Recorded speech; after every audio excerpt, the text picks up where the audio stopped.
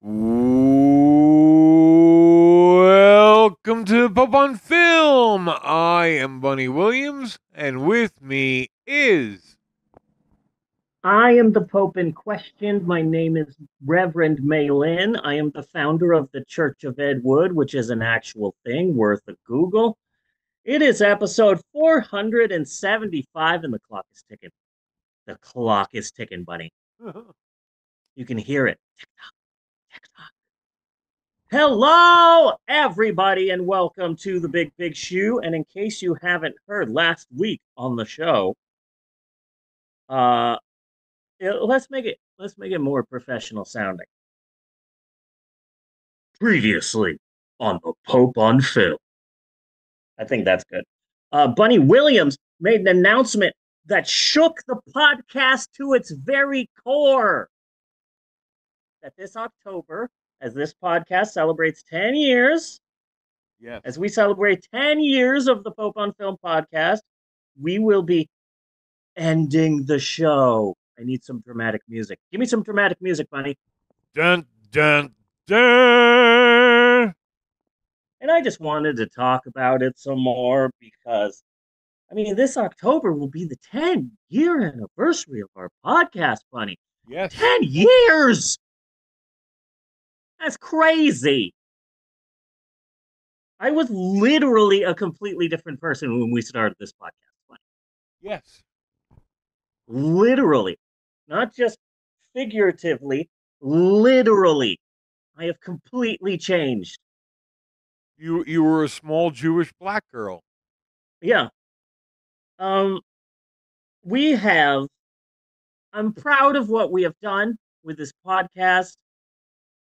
Uh, we've created, we have with this strange ass podcast that we've done for almost a year, for almost 10 years now. We have created roughly two and a half lifetimes of content Yes. that will just wait online for some insane person to discover it. Hey, kids, you want to listen to all of the Pope on Film podcast? Well, good effing luck. Yeah. That's how much content we have made. Good That's luck right. trying to hear everything we have created. That'll take you forever. You got to quit your job. You got to move to a um like a monastery, the Pope on Film monastery, where you can study nothing but the Pope on Film. Yes. Get serious about it. I'd like to think that we've created so much content that says so much that in the future, when we're long since dead, America will become obsessed with the Pope on Film podcast like uh, Bill and Ted's Excellent Adventure. Yeah. Yeah. So that's what I'd like to think. Because it's are, basically we are wild stallions. We are I mean, wild we, stuff. we just always been, Yeah. been. Yeah. I'm a wild horse now, Bunny. Yeah. And wild horses can't be broken unless with a shotgun or a bat. I can get broken with that. We've created something that I don't know about you, Bunny, but I am very proud of what we have done. yes, I am. That is true, Nadia Claire. You underestimate some people's dedication to hyperfixations. I sh- certainly know that because my family is filled with ADHD people who get hyperfixated for long or possibly short periods of time about things, and then they sort of it. My 18 year old is staring daggers at me from across the room. Okay, they're not staring daggers, they're just staring, but deep down inside they know that it's true. So, um, so yeah, there are some people who are hyperfixated. My 18 year old is a completely different person Yes. from when we started this. But I'm really proud of the massive insanity that we have created here with this podcast, and I'm I'm I'm happy of the fact that you have stuck with me for almost a whole damn decade, buddy. We Yes. have known each other earlier than that, but we've been recording this podcast for a whole decade. At this point, you know me uh, better than my older brother, better than my parents, better than my my entire biological family, including aunts, uncles, all of that. You know me. You you our relationship with this podcast has lasted longer than my relationships with most of my exes. That's how long there we go. The Bunny and Maylin train has been a rolling. That uh, we've been together longer than almost. We've had this podcast longer than most of my relationships. So it's Tasha first, because we've been dating for 21 years now. And this May the uh, this 5th of May, I'm such a Mexican. This 5th of May will be our 19th wedding anniversary between my wife and I. Somehow we haven't killed each other yet, so uh yet there's still a chance if you've got if you've got um murder on our on your uh, death pool, there's still a chance. So um so it, when it comes to the longest relationships I've ever had, it's Natasha, my wife, and then you, you and this podcast, Bunny, and then in third place is either Sarah or Tom, depending on whether or not you think that Tom and I were dating or not. I do. He probably doesn't.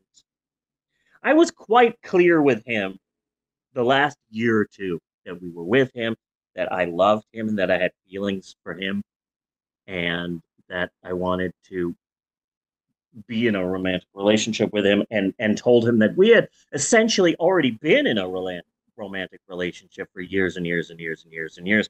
And he said that he loved me too and he cared about me too and he loved spending time with me too. But despite us regular regularly holding hands and kissing and cuddling and masturbating together he just couldn't be seen ever dating another guy Yeah.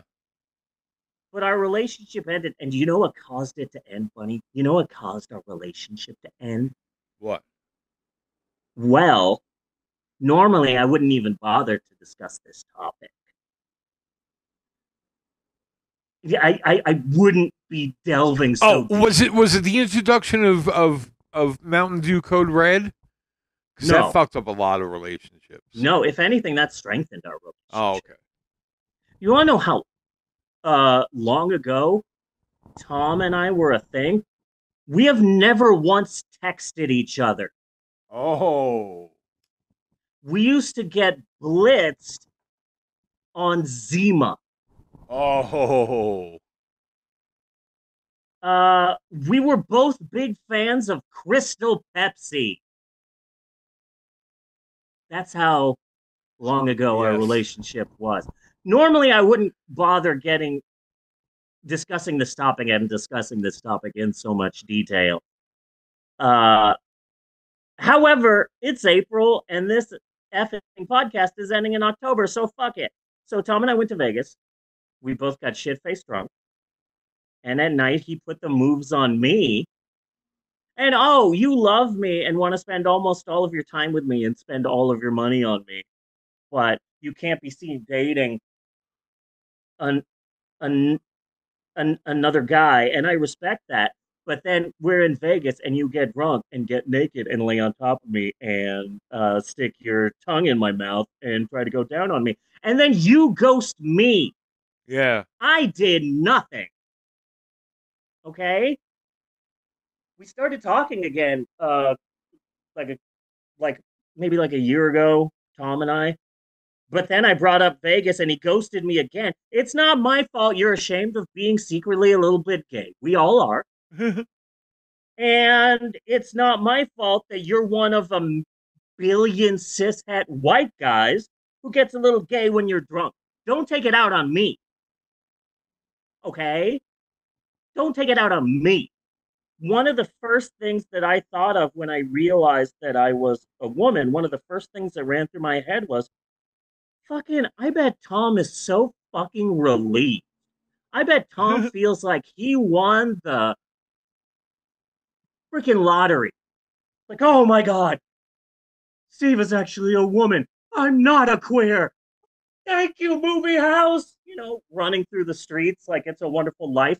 Yeah. Or knife. A couple Yes. of a couple of weeks ago, I went to church and Father Tom.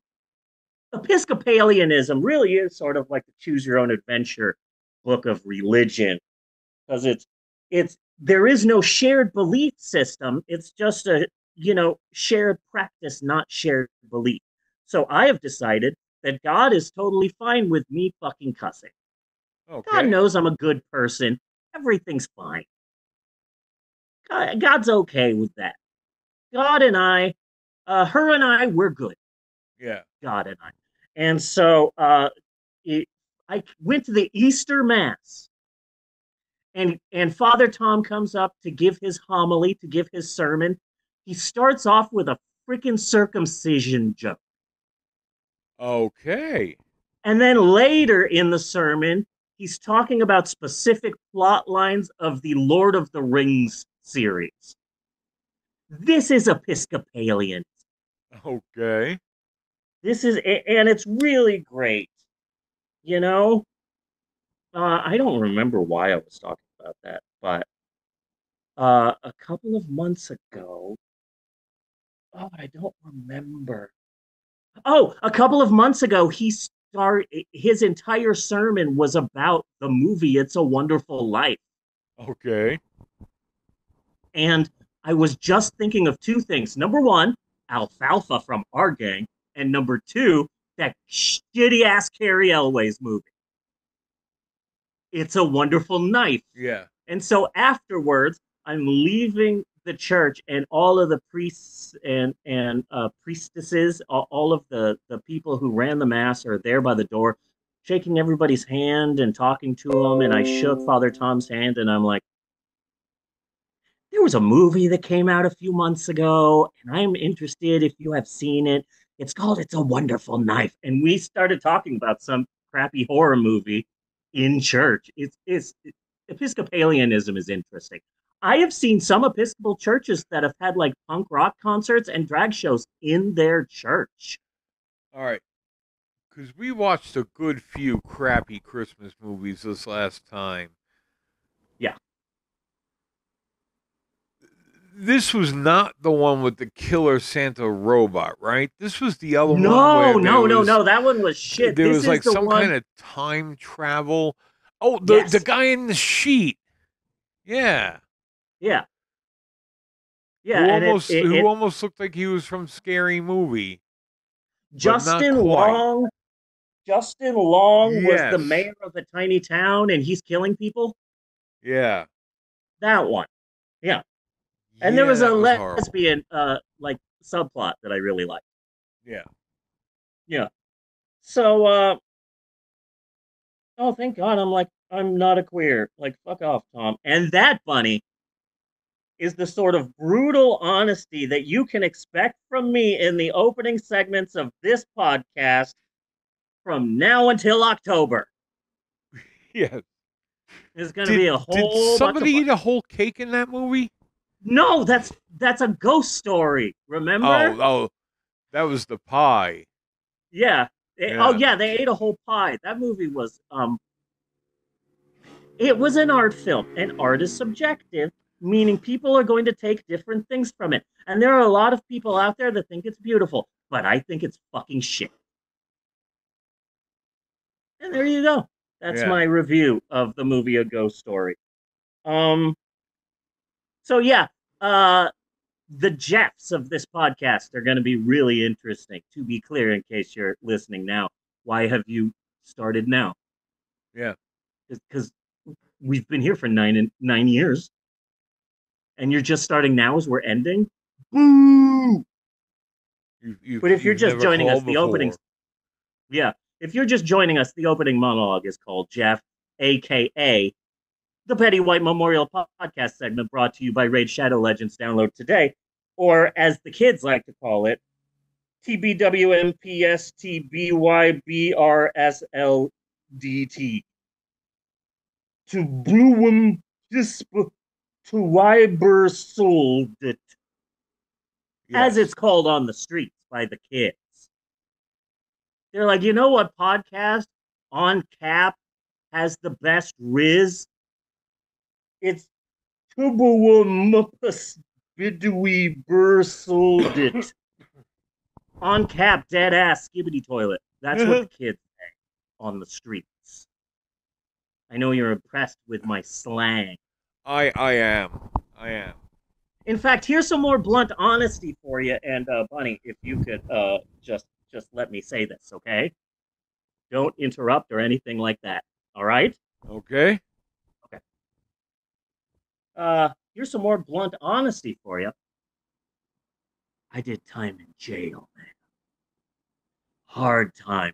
What was my crime? I stole the Declaration of Independence. They made a movie about it. Yeah. It's called Santa and the Ice Cream Bunny.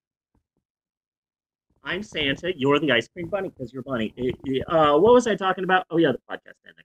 Um, so a part of me is hurt that it's ending. A part of me is in mourning because this show means a lot to me. And uh, it- because this podcast we spend this time that we spend together, it means a lot to me, and you, buddy, mean a lot to me. And I legit cannot believe that this podcast will be ending after 10 years. Um, to be clear, I am close to crying, but a large portion of that is I am way overexhausted and I am on hormone replacement. Yeah. Uh, uh, it, so it, it's what I, I I'm close to crying, but also it's real easy to get me to cry yeah. nowadays. So I just want to be clear about that. But I'm very sad about this podcast ending, but also, um, it's been a freaking decade. How many podcasts can say that? Not a lot, you know? And, and yes, thank you, Nadia. It's okay to be emotional without an excuse. And uh, I'm getting way busier. Suddenly, I find myself having a little bit of a career Yeah.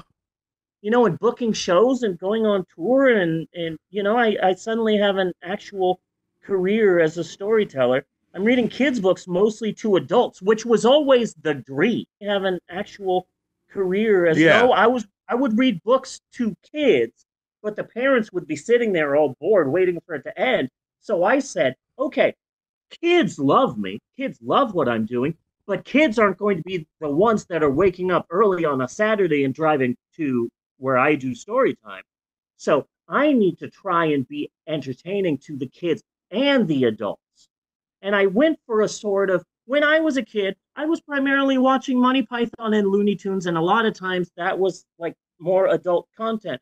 So I made a point to never talk down to the kids and to try and be funny for 21 plus years as an entertainer for kids to primarily entertain kids, but also to get the adults to crack up. And it was always my dream of like, I think that I could do this for adults, but nobody wants me to because I'm just a kid storyteller. And now here I am. I'm doing it. It's the dream. Yeah. Last night I performed at an all ages all ages talent show. There were like four or five kids there.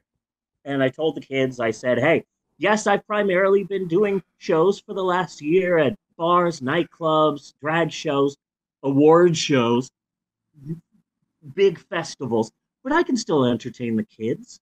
I still have that inside me. I'm still good with children. For example, uh, here's a funny joke you kids will love. Okay. So a priest and a rabbi and O.J. Simpson go to a uh, go to a bathhouse in Tibet. Yeah. Oh, you know what? I'm actually not going to say that. I'm not going to say that one. It, it- there were two kids in the front row that were just like waiting for me to say more. It was it was really cute. Plus, as you yourself said, and I'd like to repeat that so that it doesn't sound like I'm shitting on you. As you yourself said, you're getting older and tired. yeah. And plus, you do it related to that. You do so much for this podcast. I show up and I talk and try and be funny, and now uh, I try and be busty in the hopes that it that helps, but so far it hasn't helped, which sucks because it's right here and it's all natural. But so uh, you do so much to get this podcast out to the public, and I really appreciate all that you do for the podcast, Bunny. I always have, and I am sure all of the Poffies agree. So I'm going to be sad about this, sure. But yeah, it's probably time. Yeah. And I'll be super depressed for a while, but I'm okay with this. I am okay with this. We're pulling the trigger. So from then to now, I'm going to be stirring up some shit. Yeah. Yeah. My brother's a woman beater. I've heard that. you go. My brother, my brother beats women, and has an alcohol problem. I for a, I he was always called Joe for my entire life, and then he got older and he decided to go by Jose because that is you know his his true name, and and then he took my father's nickname, and now he expects everyone to call him by his father's nickname. So I am going farther than that, and I am now calling him by uh, my aunt and uncle's nickname for him as a child. So he's not Joe anymore. He's Pepito. He's little Pepito. He's little Pepito. So Pepito grew up to be a woman beater. There you go. Mic drop. Pipe bomb. There you are. Fuck you, Tom. There you go. I'm happy. The best revenge is living a happy life. yes. There you go. How are you doing, Bunny? You doing all right? Hanging in. Hanging in. Tired all Yeah. the time. Same. Yeah. But then again, I I'm on. yeah, uh, but you're like doing things. I'm doing things, and I'm going out, and I'm doing stuff. My life is crazy right now. I had double hernia surgery. I, I breathe too long. I have to go take a nap. Yeah, yeah. Uh, so I had double hernia surgery, and then I got an audition to be in a podcast. Yeah. a queer scripted horror podcast. All of each episode would be a short story. Each one would be written by a different queer writer, and the entire cast would be uh, LGBTQ voiceover actors. And I had an audition, and I was going to go in person for this podcast, and then I had to miss it because on my way towards the door to leave, I got in the middle of a dog fight and uh, my leg was mauled. Yes. And my lovely, beautiful, wonderful wife, my partner in life, uh, who is a very strict sort of stickler, she said, I wouldn't call it a mauling. Don't tell people you got mauled because uh, he, you weren't mauled. But the way that I see it, if you got attacked, if you got in the middle of a dogfight and after that you found yourself picking pieces of your leg out of your leggings, Yeah. that's a mauling. Yeah. That's a mauling. And I'm I was not, just I'm like, not sure where that line is. The fine line between mall and not mall. Between maul and bite, you know? Yeah. But I, but I, I had been bitten really bad, and I was like going into shock and like freaking out. And uh, I took my pants off to see the damage, and there are all these holes on my leg. And I go, and because I'm just sort of in a trance from the attack, I'm looking at my pants and I'm like, what? What is this in my pants? It's all sticky. It's covering the inside of my pants. Oh shit! This is my leg. I have pieces of me. How exciting! You've got to show the podcast now. Get that leg up on the desk. It's been a it's been a week now. Okay, Okay. to be clear, it has been a week. Ugh. Okay, I am not Can you see that? Wow, impressive.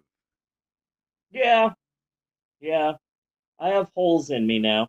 This one it was super deep. Like I could almost see like like muscle tissue in this one.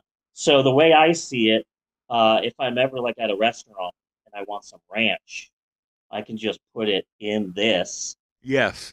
you know, extra extra bowl of ranch. So that's exciting.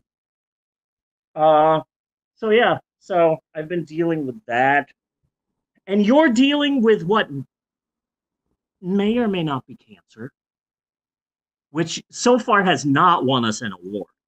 No. No. It Which- should have. It should have. It's It unfair. You know. It should have. It absolutely should have. But it ha- have is is that confirmed, Bunny? Are you really going through it? Uh, I'm worried about They you. strongly suspect, but there's not much I can do about it. Yeah. You know, they they got all freaked out about this lump on on the side here, so we had ultrasound, ultrasound and all that. Well, Are you pregnant? I'm broke now. Uh, yeah. Yeah. I get okay. that. Like that's Yeah, that's- exactly the kind of thing I was trying to get them to not do. Ten minute warning. Uh, I get that. I get that. But then I did. Uh, so I'm broken. It's not even half the deductible yet. Jesus. I am sorry, buddy. I am really sorry, and I love you. I love And- you too. I believe in you. You know what? I've heard of miracle workers in Malaysia. Yeah. We'll just take a quick trip down there. I'm pretty sure that like the the voodoo medicine that they have over there. I would do it, but I don't practice Santeria. It's it's a possibility. got It's something to ball. consider. Yeah. The American healthcare system is shit. Uh, Nadia is absolutely right. The American healthcare system is But shit. but what what kind of a copay does a witch doctor want? Can Oh, I get away with like half a like- chicken or something? Probably just like a pelt, Yeah. you know? We'll just get you a pelt. Some uh, deer skin. Yeah. Moleskin. Just give them notebooks. There you go. So then I did my virtual audition for the podcast.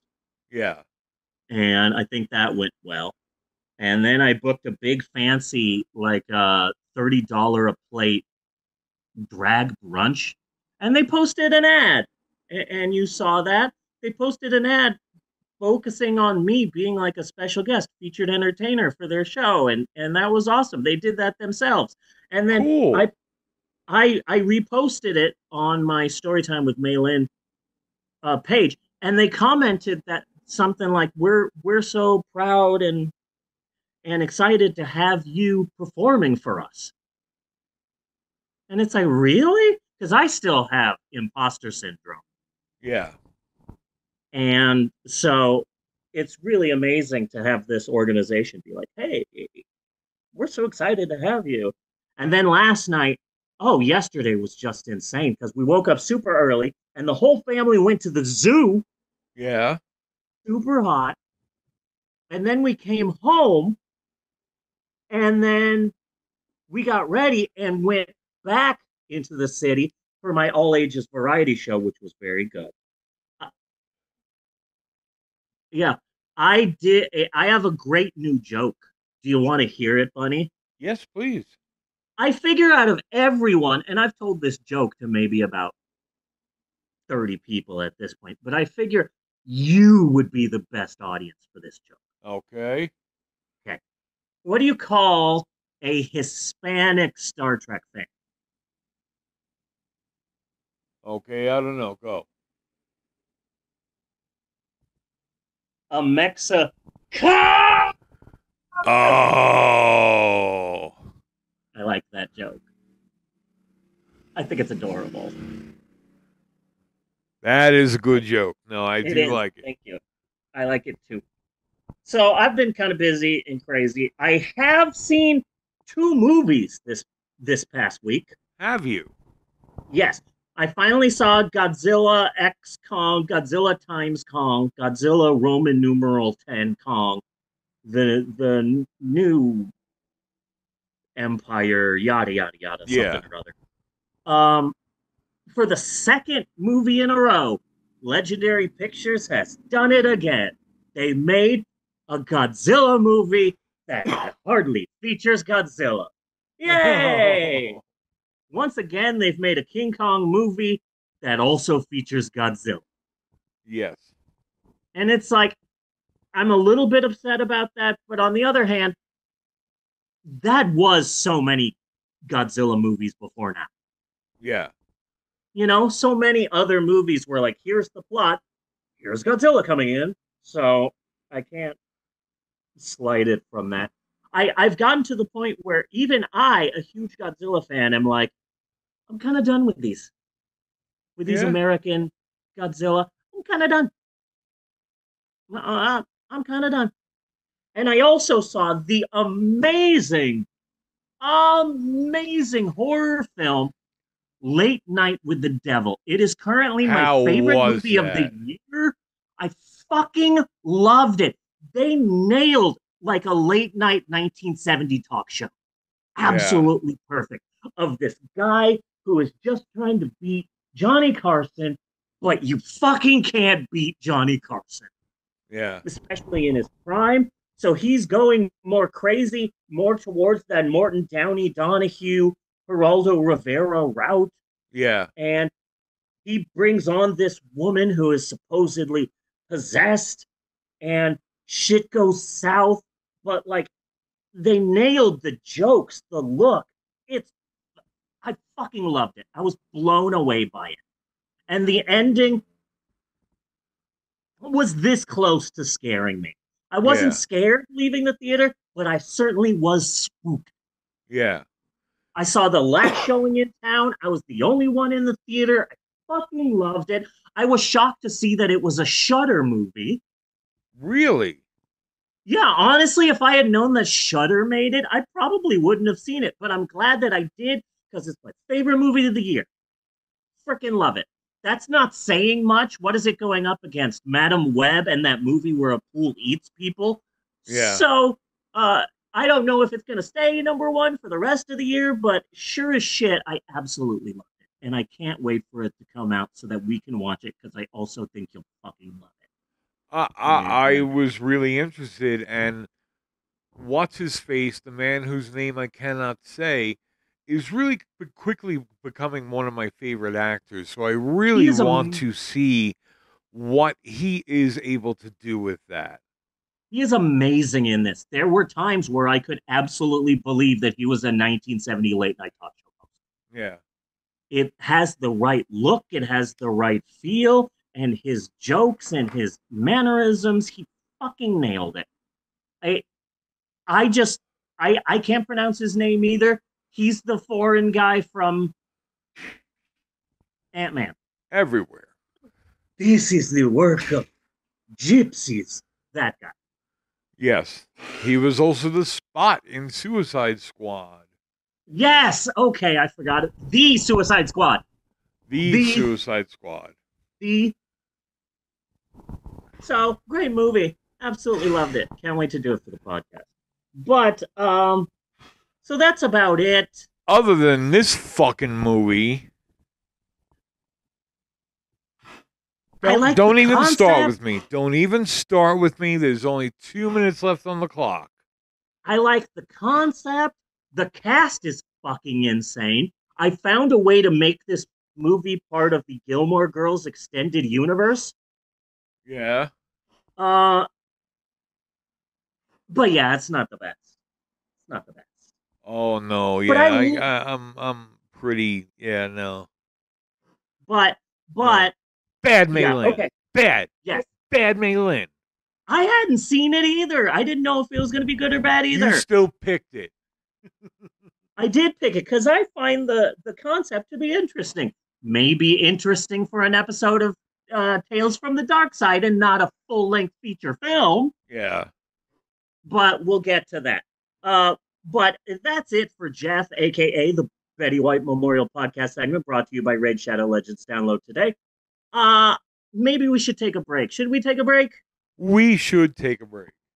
Yes, I concur. We will be right back. Nadia Claire. Uh, okay, so yes, Nadia Claire. No, Nadia Claire down down here has used my favorite Twitch emoji, snake with an open mouth. Uh huh. Because they have really weird emotes to use in Twitch chat. But my favorite is that you use it when you are shocked, you use it when you are happy. There you go. There's more snakes. I freaking love it. That is the best emoji to use. That's the official emoji of the Pope on Film podcast. Okay. Snake with open mouth. So when you're doing the snake with open mouth, you're really supporting the podcast. But yes, we're going to take a short break. We're going to show some videos, some silliness. And when we come back, we're going to talk about this week's movie, the 2011 or 2012 or 2013 film, The Brass Teapot. Yes. And I, I, I, I found a website. It's a secret website. It's going to be interesting. But oh, no. that's for the second half. Uh, we will be right back with more of the Pope on film after these messages. Do do